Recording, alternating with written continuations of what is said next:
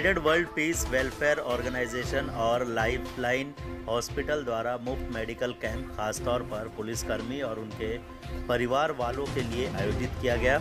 इस medical camp में न सिर्फ़ चेकअप मुफ़्त किया गया, बल्कि ज़रूरत की दवाइयाँ भी मुफ़्त में उपलब्ध कराई गई। यह आयोजन 5 और 6 जनवरी तक हो रहा है। इस मौके पर लाइफलाइन अस्पताल की ओर से डॉक्टरों की टीम मौजूद थी, जो हमेशा ही मरीजों की सेवा में लगी रहती है।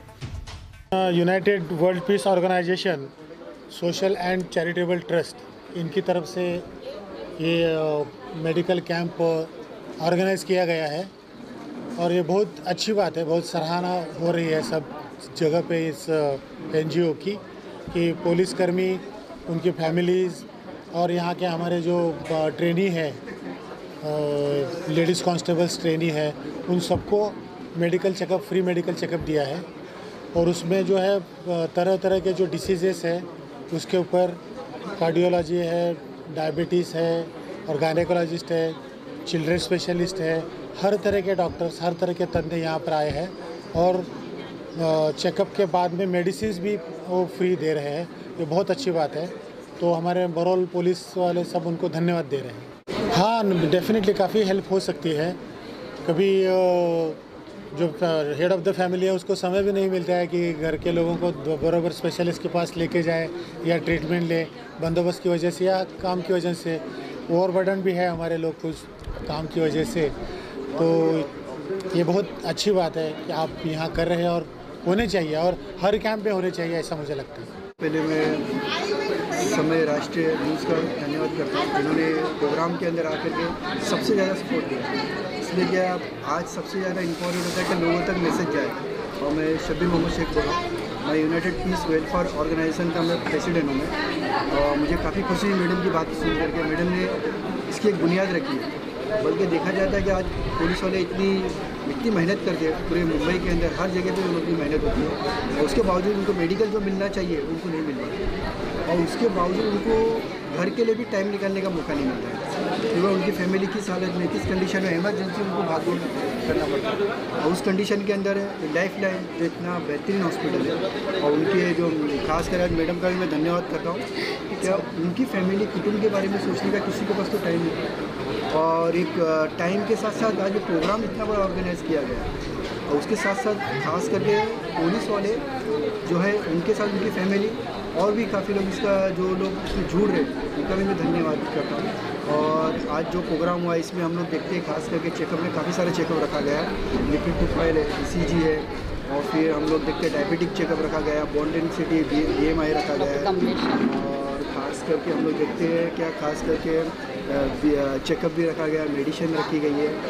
और आज काफ़ी लेडीज़ स्पेशलिस्ट डॉक्टर भी काफ़ी सारे आए हैं इसमें तो मैडम भी आए हैं। और ख़ास करके इसमें अभी तक के मैडम, जैसा बताया, डेढ़ दो सौ के ऊपर लोगों ने इसका, लोगों को इसका फैसिलिटी मिले, फ़ायदा मिला है। और काफ़ी लोग की उम्मीद है। और अभी तो दोपहर भी है, दोपहर के बाद और भी लोग आने वाले हैं। चार, साढ़े चार तक प्रोग्राम चलने वाला है। आज का फंड है अच्छा रिस्पॉन्स आया है। और लोगों की एक उम्मीद जागी है, ये प्रोग्राम इस रखने के बाद। और उम्मीद है कल इससे ज़्यादा लोग आएँगे। कम से कम टारगेट है डेढ़ दो हज़ार तो इसका फ़ायदा उठाए संस्था है United World Peace Welfare Organisation हाँ तो ये जो United World Peace Welfare Organisation ये संस्था, उसका नाम तो बहुत ही बड़ा है। जैसे कि मुझे ना बोलने में दिक्कत हो रही है। United World Peace Welfare Organisation लेकिन इनका नाम बड़ा है और काम भी बड़ा है। जैसे कि काम बड़ा है ये बोलने के लिए मुझे आज बहुत अच्छा लग रहा है और मुझे गर्व लग रहा है कि हमारे हॉस्पिटल को ऐसे आ, मतलब ये वेलफेयर ऑर्गेनाइजेशन के साथ हम लोग जुड़ गए हैं क्योंकि ये इतना अच्छा काम कर रहे हैं कि पुलिस वाले जो कि हमेशा एक सोल्जर जैसे या एक देश के रक्षक ही है, ऐसा कुछ भी प्रॉब्लम होता है तो जैसे कि डॉक्टर्स कोई इमरजेंसी में दौड़ते हैं ऑन द टोज़ रहते हैं, वैसे ही पुलिस वाले भी ऑन द टोज़ रहते हैं, उनको कभी भी इमरजेंसी में जाना पड़ता है, कहीं पे भी जाना पड़ता है। अपने फैमिली वालों को मतलब अपने जो परिवार के लोग हैं, बच्चे बाल बच्चे अपनी जो मतलब गृहस्थी के लोग, उनके ऊपर वो ध्यान नहीं दे सकते हैं बहुत बार। और उनके हेल्थ के ऊपर भी, वो खुद के हेल्थ के ऊपर और उनके हेल्थ के ऊपर भी ध्यान नहीं दे सकते। तो ऐसे टाइम में ऐसे वक्त में कि ये जो है United World Peace Welfare Organisation ये इन लोगों की हेल्थ के लिए जो कोऑर्डिनेशन का काम कर रहे हैं कि उनको इकट्ठा करना, उनके लिए हम लोगों को बुला के कैंप लगाना और फिर बाद में उनका फॉलोअप करना कि उनको हमारे तक तक पहुंचाना और टाइम पे इमरजेंसी ट्रीटमेंट इमरजेंसी में उनको ट्रीटमेंट की जब ज़रूरत है, तभी भी उनके लिए दौड़ना। ये जो काम है ये बहुत ही मतलब ये this is one kind of medical coordination का काम है। मैं खुद as a doctor medical coordinator रह चुकी हूँ तो मुझे मालूम है और आज मैं एच आर हूँ लाइफ लाइन की तो मुझे मालूम है कि ये काम एच आर मतलब मनुष्य बल ये काम कितना आ, मतलब मुश्किल है काम।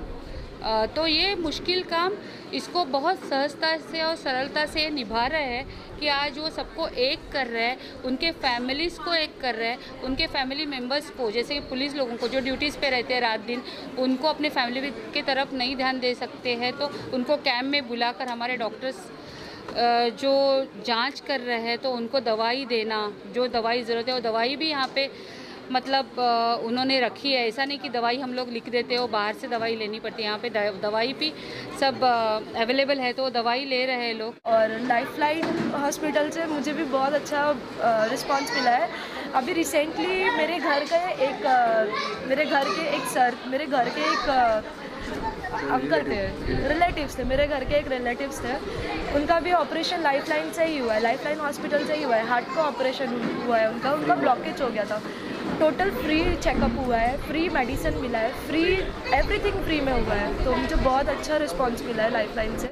नमस्ते, मेरा नाम विपिन पांडे है। मैंने लाइफ लाइन हॉस्पिटल ज्वाइन किया है एज इंचार्ज और इनके चार हॉस्पिटल में देख रहा हूँ इंक्लूडिंग हमारे डिवाइन एक डायग्नोसिस वहाँ पे एम सेंटर से।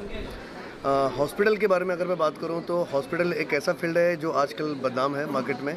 लोगों को लगता है कि हम उनको लूटने के लिए, हम ज़्यादा बिल बना के, डॉक्टर उनको ज़्यादा पैसा ले रहा है, ऐसी कई शिकायतें आती हैं। बट आज आप इस कैम्प में एक हमारा एक रूप ये भी देख रहे हैं कि हम कैसे लोगों की सेवा करते हैं। मुंबई पुलिस जो लोगों की सेवा करते हैं, आज हम उनकी सेवा में हैं, पहली चीज़। दूसरी चीज़, हमारा जो काम होता है, हम लोगों तक अवेयरनेस फैलाना, जैसे कि हार्ट अटैक्स। दिन में एक रेशो के एक अनुपात है, जिसमें पता ये चला है कि एक दिन में 80 लोगों की मौत हो जाती है due to heart attacks people don't know what exactly heart attack is जिस व्यक्ति को एक घंटे के बाद मरना है, वो एक घंटे पहले अवेयरनेस के कमी की वजह से वो मर जाता है, क्योंकि पता ही नहीं कि उसको पकड़ना कैसे है फ़र्स्ट एड कैसे देना है सीपीआर कैसे देना है, लोगों को पता नहीं है। तो ये काम हमारा होता है। हमारा काम बेसिकली लोगों को अवेयरनेस देना है, ना सिर्फ़ पैसा कमाना है। इसके अलावा भी लोगों को पता होना चाहिए कि हमारे पास फैसिलिटी कौन कौन सी है, जैसे अगर हार्ट अटैक आ जाए तो ऐसा नहीं कि आप उसको कहीं भी लेके चले जाए। आप पहले ये देख लीजिए कि हार्ट अटैक के पेशेंट को कैथलेब लगता है। आपके हॉस्पिटल में कैथलेब है या नहीं, इसकी जानकारी होना बहुत ज़रूरी है। दवाई कौन सी लगती है, डॉक्टर उसके लिए कौन सी इंपॉर्टेंट है, ये सारी चीज़ों का अवेयरनेस देना भी मार्केट में बहुत ज़रूरी है, जो काम लाइफ बहुत बखूबी आजकल कर रहा है।